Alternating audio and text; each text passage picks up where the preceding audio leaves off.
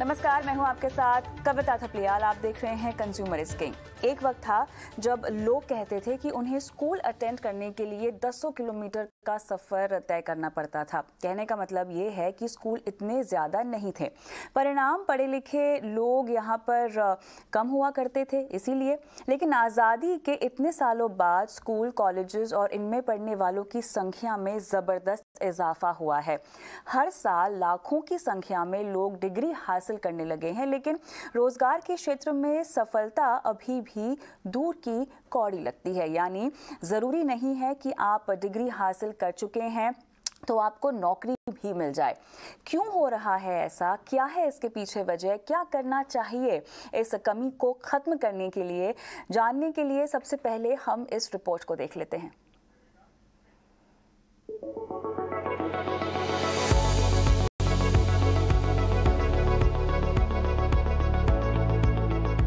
एक दौर था जब अक्सर प्राइवेट नौकरियाँ जान पहचान और रिकमेंडेशन पर मिल जाया करती थी। लेकिन अब सोशल मीडिया के दौर में नौकरियों के लिए एचआर बाकायदा जॉब पोस्टिंग करते हैं। कंपनियाँ कॉलेज और यूनिवर्सिटीज जाकर रिक्रूटमेंट ड्राइव चलाती है। लेकिन उन्हें स्किल की कमी के चलते कभी कभी निराश होना पड़ता है।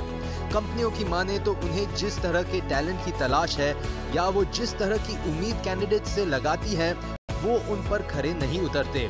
ऐसे में किसी को भी नौकरी देना मुश्किल होता है। ऐसे में कॉलेज और यूनिवर्सिटी से निकलने वाले कई युवा बेरोजगारी झेलने के लिए मजबूर होते हैं। स्किल की बात अलग अलग रिपोर्ट्स के ज़रिए कई बार सामने आ चुकी है।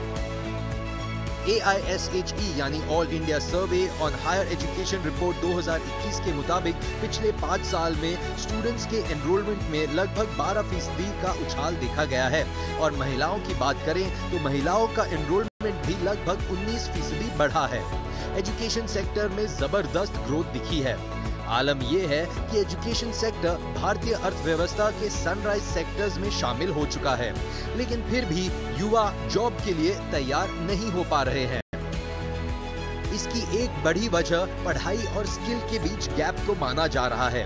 इस गैप को भरने के लिए एकेडमिक और थ्योरेटिकल नॉलेज पर ज़ोर देने वाले कॉलेज और यूनिवर्सिटीज अब प्रैक्टिकल नॉलेज और इंडस्ट्री बेस्ड स्किल्स पर ज़ोर दे रहे हैं।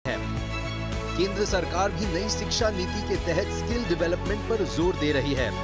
देखने वाली बात होगी कि शिक्षा संस्थानों की सोच में ये बदलाव रोज़गार के क्षेत्र में कब और किस हद तक बदलाव लेकर आता है। ET Now Swadesh.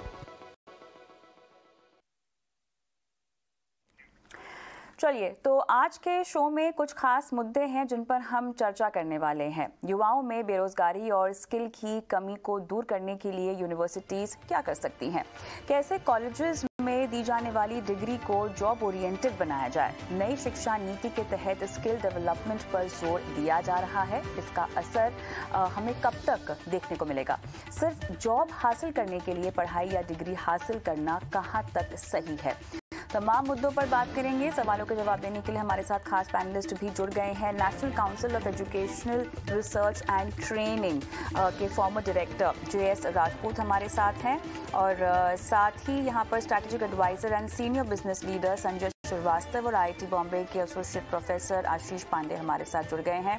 आप तीनों का स्वागत है हमारी इस खास पेशकश में। तो आ, सबसे पहला सवाल राजपूत जी आप ही से होगा। ये बताएँ आ, कई रिपोर्ट्स यहाँ पर अनएम्प्लॉयमेंट को लेकर एम्प्लॉयमेंट को लेकर और जॉब डेटास जो कि अक्सर हम देखते हैं कि हर तिमाही या हर महीने आते ही रहते हैं उसमें एक चीज़ जो बहुत आम है वो ये है कि भारत में बेरोज़गारी ज़्यादा या बेरोज़गारी की दर उन लोगों में ज़्यादा है जो पढ़े लिखे हैं जिनके पास डिग्री है। आ, क्या कारण आपको लगता है इसके पीछे देखा जा रहा है? क्योंकि ग्रेजुएट लोगों के बीच में बेरोजगारी होना, इनकी तादाद में इजाफा होना, लगातार बढ़ोतरी होना कहीं ना कहीं उनके लिए मौक़ों की कमी को दर्शाता है।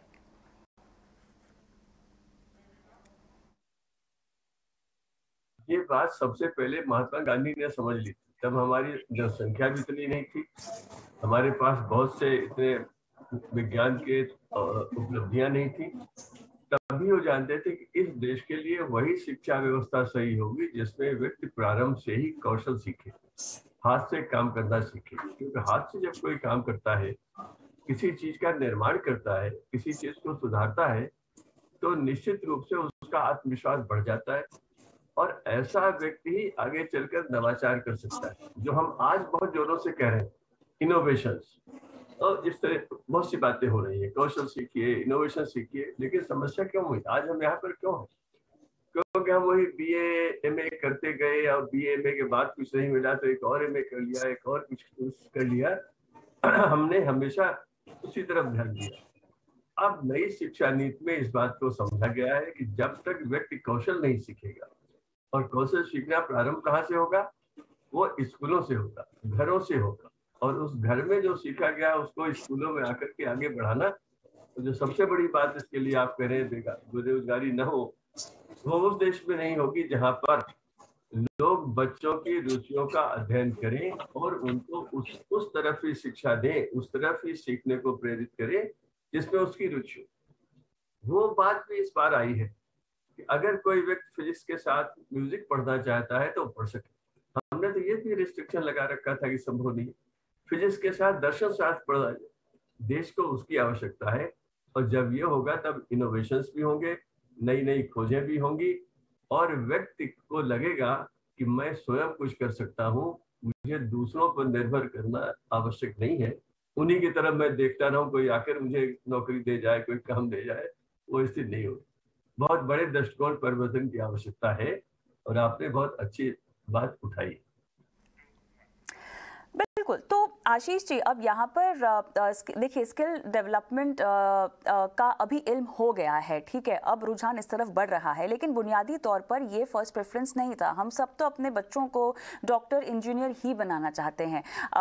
उनके स्किल्स में उनकी उनकी रुचि क्या है? वो किस क्षेत्र में दिलचस्पी रखते हैं? ये तमाम बातों को माता पिता थोड़ा सा इग्नोर कर कर अपने बच्चों को स्टैंडर्ड तरह की एजुकेशन देखने में ज़्यादा विश्वास रखते थे और कहीं ना कहीं as a profession respected profession अगर हम कहें डॉक्टर इंजीनियर उससे ज़्यादा कोई आगे नहीं बढ़ पाता था। अब समय बदल रहा है लेकिन कहीं ना कहीं जो इस बेरोज़गारी की हम बात कर रहे हैं ये बेरोज़गारी उन नवयुवकों युवकों में भी है जो स्किल्ड ट्रेंड हैं जो जिन्होंने स्पेशलाइजेशन की है उनमें भी हम एम्प्लॉयमेंट बढ़ती हुई देख रहे हैं। अगेन uh, क्या मौके कम हैं? आपने इंजीनियरिंग की चर्चा की। इंजीनियरिंग और मैं मैनेजमेंट स्कूल से संबद्ध हूँ। मैनेजमेंट में भी इंजीनियरिंग और मैनेजमेंट दोनों में ही एम्प्लॉयबिलिटी का भी इशू है।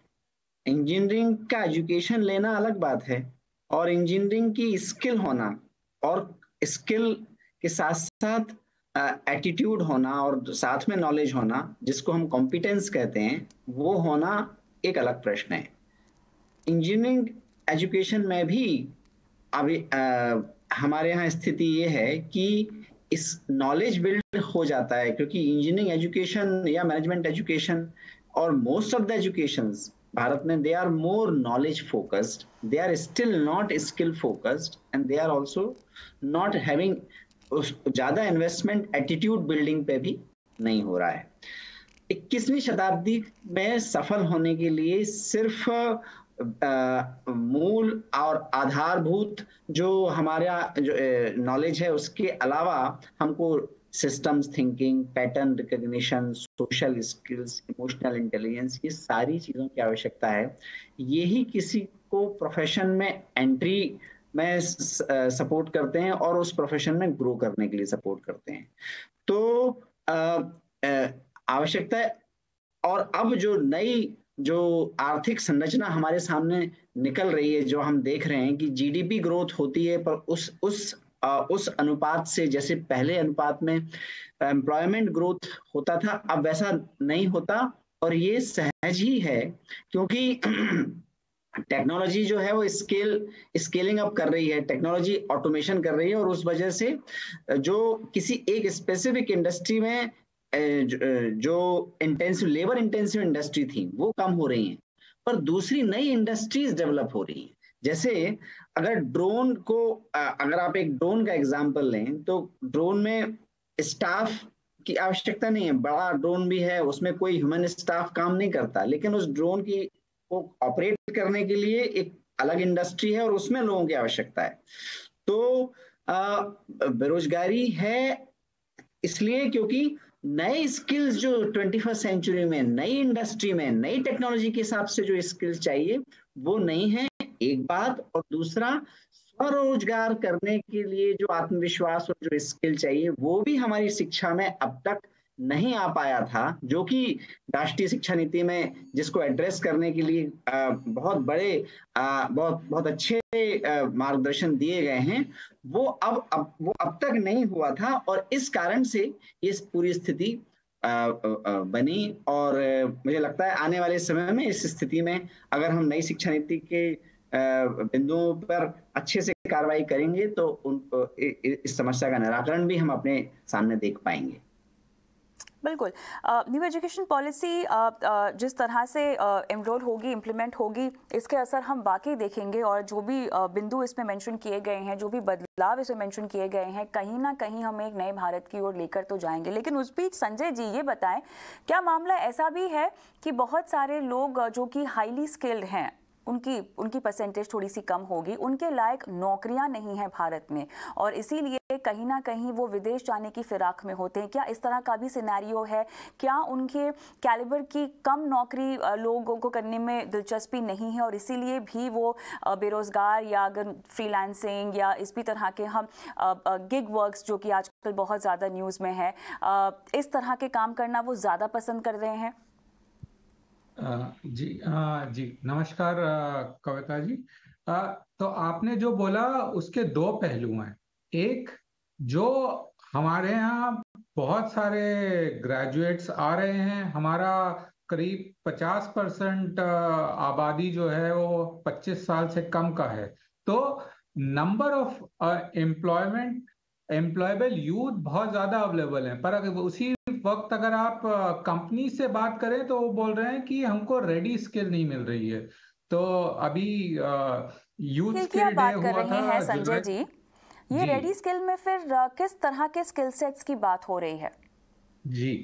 तो इसमें जैसा कि हम मेरे पिछले दो पैनलिस्ट ने बोला कि आप जो फॉर्मल एजुकेशन है चाहे वो एमबीए ग्रेजुएशन है इंजीनियरिंग है आप सिर्फ़ उसमें टिपिकल ट्रेडिशनल चीज़ें कर रहे हैं। पर जो 21वीं सदी की जो प्रॉब्लम सॉल्व करने हैं, वो 19वीं और 20वीं सदी के फाउंडेशन पे नहीं हो सकते। तो जो नई चीज़ें चाहिए, इसमें आपको प्रैक्टिकल स्किल्स का बहुत ज़्यादा यूज़ करना है। आपको सोशल स्किल्स इस्तेमाल करनी है। आपको लिबरल आर्ट्स मिक्स करना है टेक्नोलॉजी के संग। आपको डिजिटल स्किल्स चाहिए, क्योंकि आज जो है बिज़नेस का डिजिटल एक पार्ट नहीं है, बल्कि हर बिज़नेस डिजिटल हो गया है। तो आपको डिजिटल स्किल चाहिए। आपको continuously complete traditional left brain logical thinking और राइट right ब्रेन जो लिबरल थिंकिंग है, इसका एक समन्वय चाहिए। तो ये सारी चीज़ें जो हैं, ये ये इसका चेंज हमें बहुत जल्दी करना है। और इसी का जो दूसरी इंपॉर्टेंट चीज़ है, वो है वोकेशनल स्किल और स्किल डेवलपमेंट जिसपे कि एनईपी e और सारी गवर्नमेंट की एजेंसीज का फोकस आ रहा है। तो तीन अलग अलग लोगों को एक साथ काम करना है एक तरफ़ इंडस्ट्री है, जिसको मालूम है कि आगे की क्या स्किल चाहिए। एक तरफ़ एकेडमिक है, जो अभी बहुत थ्योरेटिकल स्किल पे फोकस्ड है, पर उसको अडेप्ट करना है। और तीसरा गवर्नमेंट और स्किल डेवलपमेंट इंस्टीट्यूट है, जो इन तीनों चीज़ को एक साथ संघ में जोड़ के लाना है। इन तीनों को एक साथ समन्वय में काम करना है और बहुत तेज रफ्तार में चेंज करने हैं। बिल्कुल सही पॉइंट आपने उठाई है। आ, लेकिन राजपूत जी अब सवाल यहाँ पर यह है कि सरकार ने स्किल डेवलपमेंट विभाग तो बनाया है लेकिन उसका बहुत ज़्यादा असर या फ़ायदा होता हुआ नहीं दिखाई दे रहा है। आ, इसकी एनरोलमेंट में कहाँ पर कमी रह गई है? दिलचस्पी नहीं लोग दिखा रहे हैं या लोगों को जागरूकता नहीं है?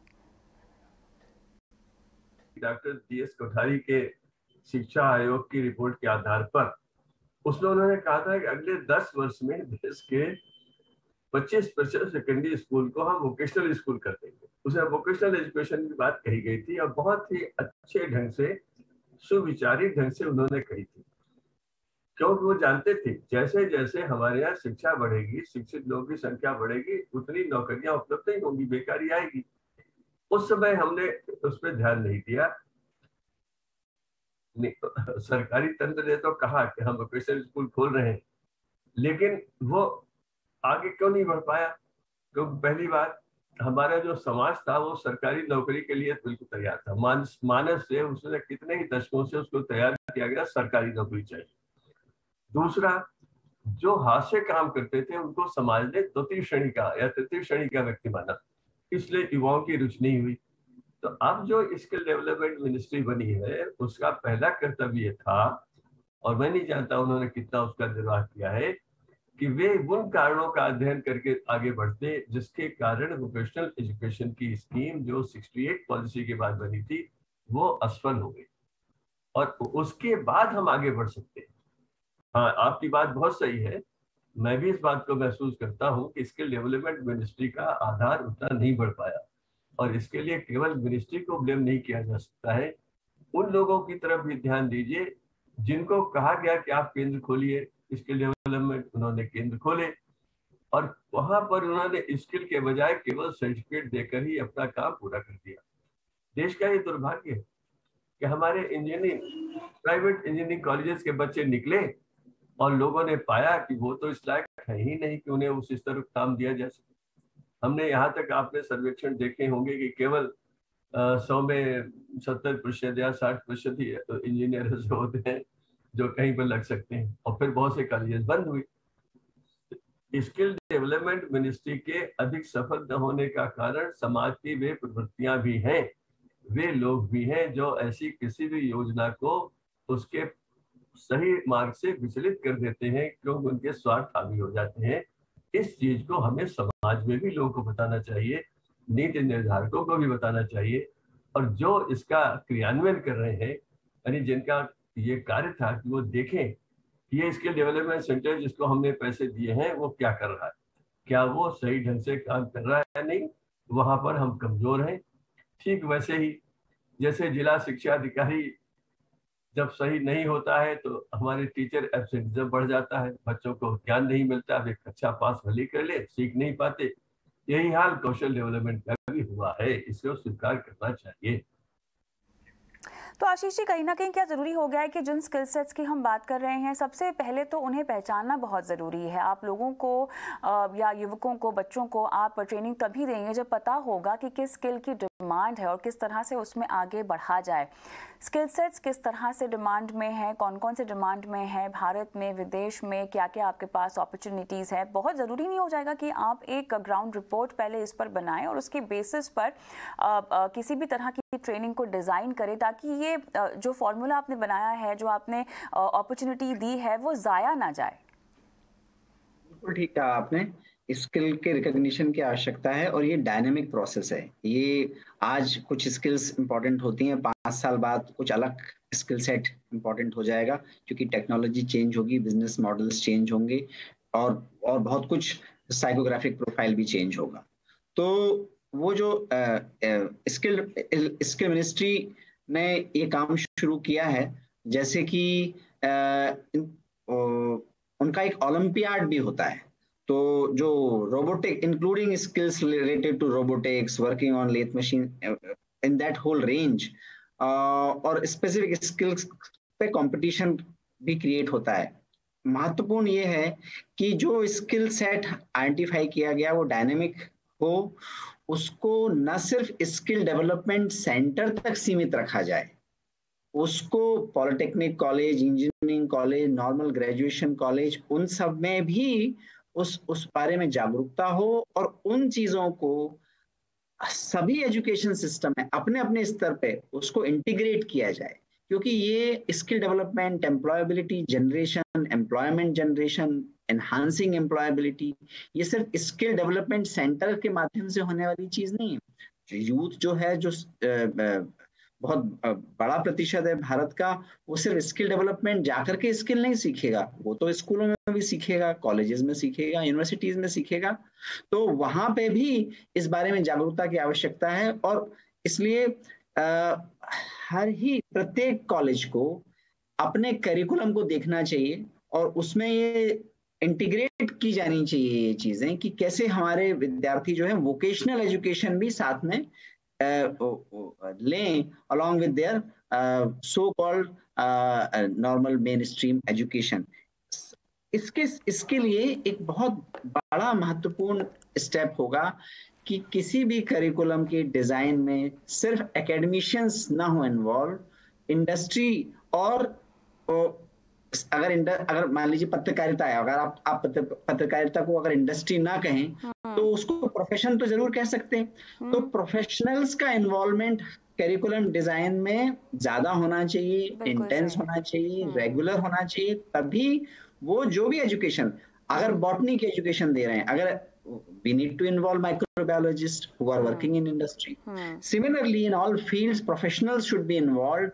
Professionals should be invited to upgrade the syllabus और उसको वोकेशन में कन्वर्ट करने के लिए फिर अगला स्टेप होगा। तब ग्रेजुएशन करके या पॉलिटेक्निक करके या इंजीनियरिंग करके जो बच्चे बाहर निकलेंगे उनके पास सिर्फ़ नॉलेज नहीं होगा उनके पास आ, हाथ से काम करने की ताकत भी होगी और उनको पता होगा कि क्या क्या काम उनको करने हैं ताकि वो इंडस्ट्री में एम्प्लॉयमेंट ले सकें या अपना स्वयं का काम शुरू कर सकें। बिल्कुल।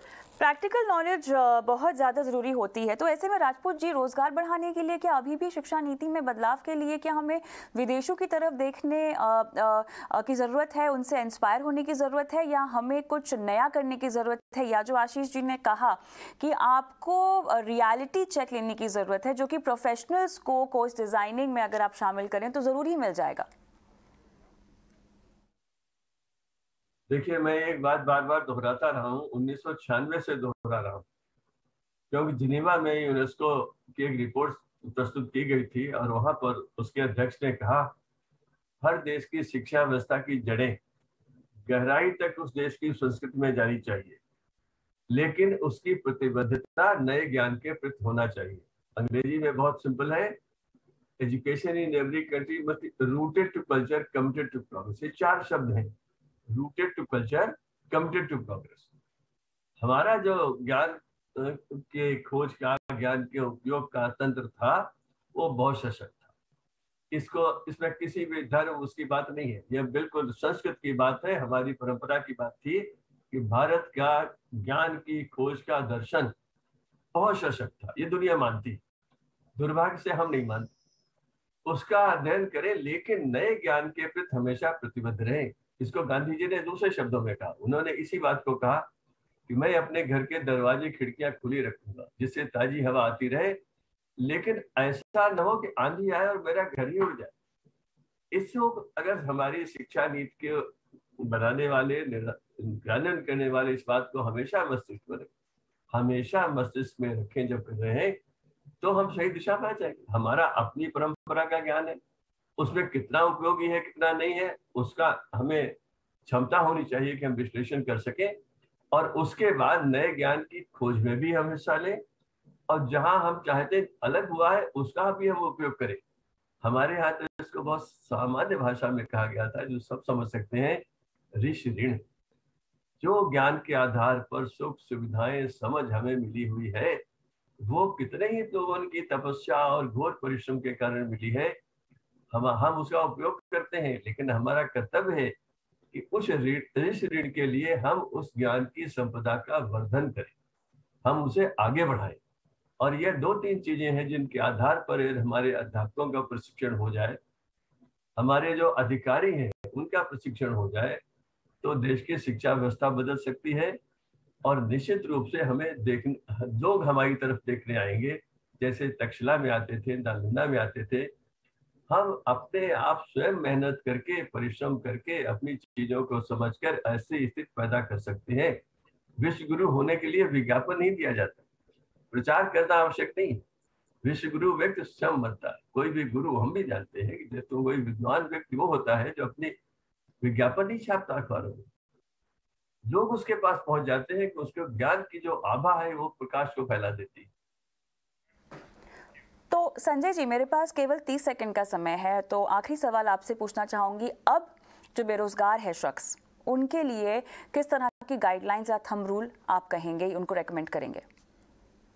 आ, जी आ, तो ऐसे जो भी युवा हैं उनको ये फोकस करना चाहिए दो या तीन मेन चीज़ पे। एक बहुत क्लियर आइडिया उनको ये लगाना चाहिए कि जो कल की नौकरी अगले पाँच से दस साल सबसे ज़्यादा ग्रोथ किस सेक्टर में और किस तरह की जॉब में हो रही है? दूसरा, उस जॉब और सेक्टर में काम करने के लिए किस तरह की स्किल चाहिए और उस तरह का वो वोकेशनल कोर्स ज्वाइन करे। और तीसरी मोस्ट इंपॉर्टेंट चीज़ कि जो इंफ्रास्ट्रक्चर बन रहा है स्किल डेवलपमेंट वगैरह में, उसको एक इंटीग्रेटेड मैनर में काम करना है, जिसमें उसमें इनोवेशन लैब होनी चाहिए स्किल लैब होने चाहिए लाइव इंटर्नशिप होना चाहिए और एक कंटिन्यूस फीडबैक मैकेनिज्म होना चाहिए, जो इंडस्ट्री एकेडमी एम्प्लॉयड लोगों से कंटिन्यूसली एक लूप में काम कर रहा हो। बिल्कुल। तो बहुत ज़रूरी है कि अगर आप देश को और देश के युवा को आगे बढ़ता हुआ देखना चाहते हैं तो सबसे पहले सिस्टम को दुरुस्त करें और उसके साथ साथ युवाओं को अपनी स्किल डेवलपमेंट पर भी काम करने की ज़रूरत अब महसूस होनी चाहिए। बहुत बहुत धन्यवाद आप तीनों का इस खास पेशकश में शामिल होने के लिए। मुझे भी इजाज़त दें। नमस्कार।